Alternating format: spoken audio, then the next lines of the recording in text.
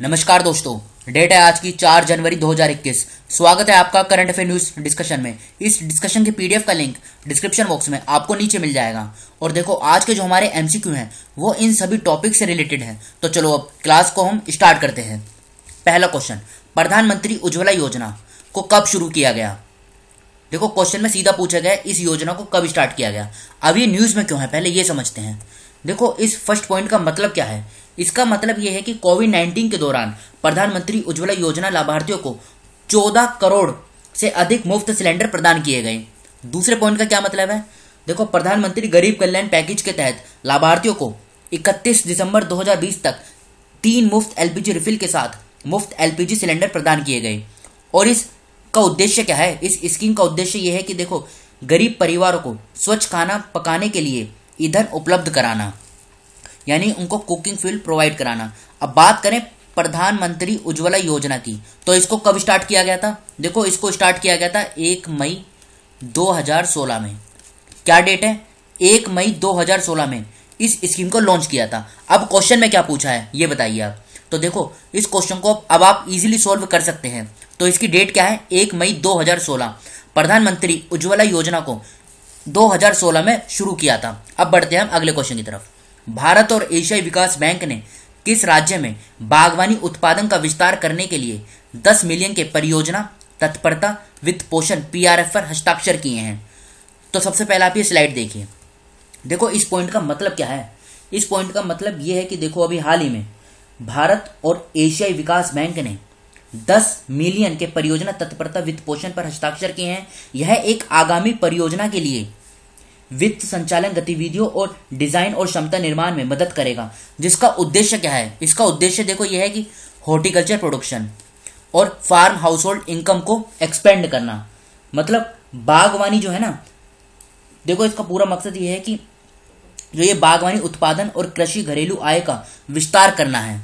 और ये फ्रूट्स और वेजिटेबल सहित सब ट्रॉपिकल हॉर्टिकल्चर के विकास में भी ये सपोर्ट करेगा। अब बात हुई है इसमें एडीबी की। पूरा नाम क्या है? पूरा नाम है एशियन डेवलपमेंट बैंक ये है क्या? ये रीजनल डेवलपमेंट बैंक है। जिस, इसका गठन कब किया गया था? 19 दिसंबर 1966 में। हेडक्वार्टर कहाँ पर है? देखो फिलीपींस की कैपिटल है मनीला और यहाँ पर एक जगह है मंडलियो योंग और यहीं पर है ओटिगा सेंटर जहाँ पर इसका हेडक्वार्टर है। प्रेसिडेंट की बात करें तो मसद सुगु असकावा, ये इसके अध्यक्ष हैं। और इसमें मेंबर की बात करें तो अड़सठ मेंबर हैं। अच्छा ये बताइए, भारत क्या एडीबी का मेंबर है? जी हाँ भारत एडीबी का मेंबर है। तो अब क्वेश्चन में क्या पूछा गया था? क्वेश्चन में इस क्वेश्चन का सही आंसर हो जाएगा क्या? डी हिमाचल प्रदेश। अब बढ़ते हैं हम अगले क्वेश्चन की तरफ़। उससे पहले आप हिमाचल प्रदेश की लोकेशन देख लीजिए। देखो, यह है हिमाचल प्रदेश की लोकेशन ये इधर उत्तराखंड, इधर उत्तर प्रदेश, हरियाणा, पंजाब, जम्मू कश्मीर और लद्दाख। इनके साथ हिमाचल प्रदेश की सीमा लगती है। इसकी कैपिटल क्या है हिमाचल प्रदेश की? देखो, इसकी दो कैपिटल है। एक तो अभी हाल ही में बनाई गई थी, शिमला, जो इसकी समर कैपिटल है, और धर्मशाला, इसकी विंटर कैपिटल है। जयराम ठाकुर, ये मुख्यमंत्री हैं, और बंदारू दत्तात्रेय, ये राज्यपाल हैं। बारह ज़िले हैं लोकसभा की, चार सीट, राज्यसभा की तीन, विधानसभा की अड़सठ सीटें हैं। शिमला में इसकी हाईकोर्ट है, जहाँ के मुख्य न्यायाधीश हैं लिंगप्पा नारायण स्वामी, और जम्मू कश्मीर, लद्दाख, उत्तराखंड, पंजाब, हरियाणा और यूपी। इसके साथ हिमाचल प्रदेश की सीमा लगती है। भारत ने किसके साथ असम में बिजली उत्पादन क्षमता में वृद्धि करने के लिए 231 मिलियन अमेरिकी डॉलर के ऋण पर हस्ताक्षर किए हैं? तो देखो अभी हाल ही में भारत ने एडीबी के साथ असम में बिजली उत्पादन करने के लिए ये एग्रीमेंट साइन किया है। कितने का? 231 मिलियन लोन का ये एग्रीमेंट साइन किया गया है। अब इसमें होगा क्या? देखो यह 120 मेगावाट जल विद्युत संयंत्र के निर्माण के माध्यम से असम में बिजली उत्पादन क्षमता में वृद्धि करेगा। जो घरों के लिए बिजली की उपलब्धता बढ़ाएगा। अब बात हुई है इसमें एडीबी की, जिसके बारे में हमने अभी पिछले क्वेश्चन में डिटेल से समझ लिया है। अब इसमें आसाम की लोकेशन देखिए पहले आप। देखो, यह है आसाम की लोकेशन इसके अगर हम आसपास के राज्यों की बात करें, अरुणाचल प्रदेश, नागालैंड, मणिपुर, मिजोरम, त्रिपुरा, मेघालय, पश्चिम बंगाल, सात राज्यों के साथ असम की सीमा लगती है। कैपिटल क्या है असम की? कैपिटल है इसकी, देखो, दिसपुर। मुख्यमंत्री कौन है? सर्वनंदा सोनोवाल। जगदीश मुखी, यहाँ के राज्यपाल हैं। तैतीस ज़िले हैं, लोकसभा की चौदह सीट, राज्यसभा की सात, विधानसभा की एक सौ छब्बीस सीटें हैं। गुवाहाटी में इसकी हाई कोर्ट है और एन कोटेश्वर सिंह, ये मुख्य न्यायाधीश हैं। कुछ इंपोर्टेंट नेशनल पार्क हैं यहाँ पे, जैसे Kaziranga national park Manas national park Dibru Saikhowa national park Nameri national park Orang national park ये सभी नेशनल पार्क इंपोर्टेंट हैं। एग्ज़ाम में सीधे सीधे पूछे जाते हैं। अब बढ़ते हैं हम अगले क्वेश्चन की तरफ़। ये कुछ इंपॉर्टेंट अपॉइंटमेंट हैं, जो अभी हाल ही में हुई हैं। इनको देख लेते हैं एक बार।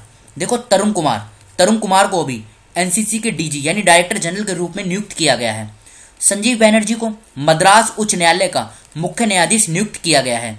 सोमा मंडल को Steel Authority of India Limited, SAIL की पहली महिला प्रमुख के रूप में इन्होंने पदभार संभाला है अभी।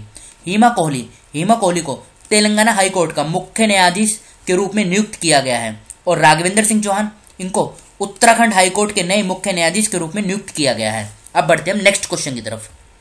बूटा सिंह का निधन हो गया। इनका संबंध किस क्षेत्र से है, बताइए। तो देखो भी राजस्थान कांग्रेस के वरिष्ठ नेता और जालोर के पूर्व सांसद, बूटा सिंह का जनवरी 2021 में निधन हो गया। तो सांसद हैं तो संबंध इनका राजनीति से है। ए, इस क्वेश्चन का सही आंसर है।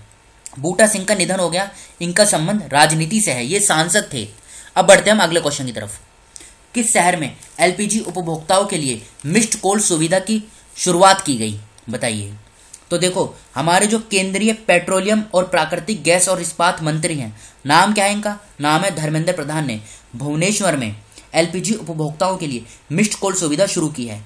भुवनेश्वर शहर में इंडियन ऑयल एलपीजी ग्राहक अब रिफिल बुकिंग और नए कनेक्शन के लिए एक नंबर दिया गया है। नंबर क्या है?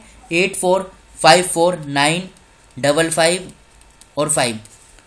तो इस नंबर पर मिस्ड कॉल दे सकते हैं। तो कहाँ पर? भुवनेश्वर में। अब ये भुवनेश्वर कहाँ पर है? ये उड़ीसा में स्थित है। तो उड़ीसा की आप लोकेशन देखिए। देखो ये है उड़ीसा की लोकेशन ये आंध्र प्रदेश है, इधर छत्तीसगढ़, इधर ये झारखंड और ये पश्चिम बंगाल। चार राज्यों के साथ उड़ीसा की सीमा लगती है। कैपिटल क्या है उड़ीसा की? कैपिटल की बात करें तो देखो, भुवनेश्वर इसकी कैपिटल है। मुख्यमंत्री कौन है? नवीन पटनायक मुख्यमंत्री हैं। गणेशी लाल, ये राज्यपाल हैं। तीस ज़िले हैं लोकसभा की, इक्कीस सीट राज्यसभा की, दस विधानसभा की, एक सौ सैंतालीस सीटें हैं। कटक में इसकी हाई कोर्ट है और एस मुरलीधर, ये मुख्य न्यायाधीश हैं। कुछ इंपोर्टेंट नेशनल पार्क हैं यहाँ पे, जैसे Bhitarkanika national park Simlipal national park Gahirmatha wildlife sanctuary और Satkosia gorge wildlife sanctuary ये सभी सेंचुरी और नेशनल पार्क ये उड़ीसा में स्थित हैं। भारत ने अपने चक्रवात प्रभावित लोगों के लिए छह टन से अधिक राहत सामग्री किस देश में भेजी? तो देखो अभी हाल ही में, फिजी में एक साइक्लोन आया। नाम क्या है साइक्लोन का? नाम है आप याद रखेगा, यासा। तो इससे जो नुकसान हुआ, उसी को अब ध्यान में रखते हुए भारत ने अपने चक्रवात प्रभावित लोगों के लिए छह टन से अधिक राहत फिजी में भेजी है। तो 20 क्वेश्चन का सही आंसर है। अब फिजी कहाँ पर है? यह है पैसिफिक ओशन और यह देखो ऑस्ट्रेलिया और यहाँ पर है ये फिजी। फिजी की बस आप कैपिटल याद रखिए। कैपिटल क्या है? सुवा।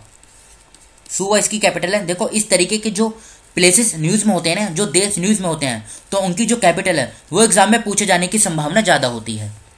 किस देश ने अपने राष्ट्रगान के एक शब्द को बदल दिया है? बताइए। तो देखो भी हाल ही में, ऑस्ट्रेलिया ने एकता की भावना और देश की देश की स्वदेशी आबादी को प्रतिबिंबित करने के लिए अपने राष्ट्रगान में एक शब्द को बदल दिया है। यहाँ का जो राष्ट्रगान है ना, यानी इनका जो एंथम है, ये है क्या? Advance Australia fair double F और इसकी जो सेकेंड लाइन है उसमें लिखा क्या गया है? उसमें लिखा हुआ है, देखो for we are young and free for we are young and free अब इसमें क्या चेंज कर दिया गया है? For we are one and free यानी जो यंग है ना, इसकी जगह ला दिया है वन फिर से बोलता हूँ for we are young and free अब इसमें यंग की जगह आ गया है वन तो बन गया for we are one and free तो इस क्वेश्चन का क्या आंसर हो जाएगा? ए इस क्वेश्चन का सही आंसर है. अभी ऑस्ट्रेलिया ने चेंज किया है. अब ऑस्ट्रेलिया की बात हुई है? तो देखो, ऑस्ट्रेलिया की यह है लोकेशन इसकी अगर हम कैपिटल की बात करें तो यह है कैनिवीरा इसके अगर हम करेंसी की बात करें करेंसी क्या है? करेंसी है ऑस्ट्रेलियाई डॉलर और यहाँ के प्रधानमंत्री कौन है? प्रधानमंत्री है स्कॉट मोरिसन देखो, ये ऊपर तो ऑस्ट्रेलिया है, नीचे है ये तास्मानिया इनके बीच में एक स्टेट है. इसका नाम क्या है? इसका नाम है, देखो बास स्टेट ये एग्ज़ाम में पूछी जाती है कि बास स्टेट किन दो किन दो देशों के बीच है? तो ऑस्ट्रेलिया और तास्मानी के बीच में है बास स्टेट अब बढ़ते हैं हम अगले क्वेश्चन की तरफ़. एक जनवरी 2021 को रक्षा अनुसंधान एवं विकास संगठन, यानी डीआरडीओ ने अपना कौन सा स्थापना दिवस बनाया बताइए।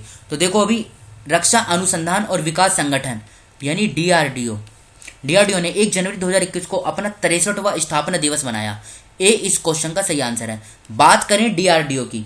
साल उन्नीस सौ अट्ठावन में डीआरडीओ की स्थापना रक्षा क्षेत्र में शोध कार्य को बढ़ाने के लिए केवल 10 प्रयोगशालाओं के साथ की गई थी। मतलब इस बॉडी का जो गठन किया गया था ना 1958 में किया गया था डिफेंस सेक्टर में रिसर्च करने के लिए। और उसी टाइम पे दस लेबोरेटरीज भी इसके साथ स्टार्ट की गई थी। देखो, उस टाइम पे तो दस थी। आज की डेट में करीब सत्तावन के करीब इसकी लेबोरेटरीज हैं। ये आप याद रखेगा। हेडक्वार्टर की बात करें तो नई दिल्ली में इसका हेडक्वार्टर है और इसके अध्यक्ष कौन है? अध्यक्ष हैं डॉक्टर जी सतीश रेड्डी। अब बढ़ते हैं हम अगले क्वेश्चन की तरफ़। प्रधानमंत्री नरेंद्र मोदी ने कितने राज्यों में लाइट हाउस प्रोजेक्ट की आधारशिला रखी है? तो देखो, इन्होंने रखी है अभी छह राज्यों में। छह राज्यों में भी छह स्थान पर। अब वो स्थान कौन कौन से हैं, ये देख लेते हैं। इंदौर। ये मध्य प्रदेश का इंदौर में। फिर उसके बाद राजकोट ये कहाँ पर है? गुजरात में। तीसरे नंबर पे चेन्नई ये कहाँ पर है? तमिलनाडु में। चौथे नंबर पे रांची ये कहाँ पर है? झारखंड में। पाँचवें नंबर पे अगरतला ये कहाँ पर है? त्रिपुरा में। और छठे नंबर पे है लखनऊ ये कहाँ पर है? उत्तर प्रदेश में। तो इन छह जगह पर ये लाइट हाउस प्रोजेक्ट की आधारशिला रखी है। अब देखो इनको बनाने का मकसद क्या होता है? देखो हर एक मतलब हर एक लोकेशन पे हज़ार बन, घर बनाए जाएँगे। ये आप याद रखेगा। अब इसमें क्या होता है? देखो, लागत भी कम आती है, ये मज़बूत होते हैं, टाइम की भी बचत होती है, और ये भूकंप रोधी भी होते हैं। तो ये छह राज्यों में रखी गई है। ये राज्यों के नाम आप याद रखेगा, और इनके सिटी के भी जहाँ जहाँ पर इनकी स्थापना करी गई है मोदी जी के द्वारा। एग्ज़ाम में सीधा सीधा पूछा जा सकता है। और ये सब जो किया गया है ना, ये किया गया है जी एच टी सी ये जो जी एच टी सी है, ये है क्या? देखो ये है ग्लोबल हाउसिंग टेक्नोलॉजी चैलेंज इसके तहत ये उद्घाटन किया गया है। तो छह राज्य एमपी गुजरात, तमिलनाडु, झारखंड, तमिलनाडु। सॉरी ये क्या है? त्रिपुरा। फिर से बोलता हूँ, मध्य प्रदेश, गुजरात, तमिलनाडु, झारखंड, त्रिपुरा और उत्तर प्रदेश। इन छह जगह पर की गई है। तो ये था हमारी आज के डिस्कशन का लास्ट क्वेश्चन अब दो क्वेश्चन आपके लिए हैं, जिसका आंसर आपको बताना है कमेंट बॉक्स में खुद से। पहला क्वेश्चन भारत का पहला पोलिनेटर पार्क किस राज्य में स्थापित किया किया जाएगा? तो इसका आंसर आपको बताना है। दूसरा क्वेश्चन किसे ग्लोबल अलायंस ने गावी बोर्ड में सदस्य के रूप में नामित किया है? तो देखो, इन दोनों क्वेश्चन का आंसर आपको बताना है कमेंट बॉक्स में खुद से। तो फ़िलहाल इस डिस्कशन को हम यहीं पर रोकते हैं। जो स्टूडेंट फ़र्स्ट टाइम चैनल पर विज़िट कर रहे हैं, वो इस चैनल को सब्सक्राइब कर लीजिए, जिससे नई वीडियो अपलोड होते ही उसका नोटिफिकेशन सबसे पहले आपको मिल सके। Thank you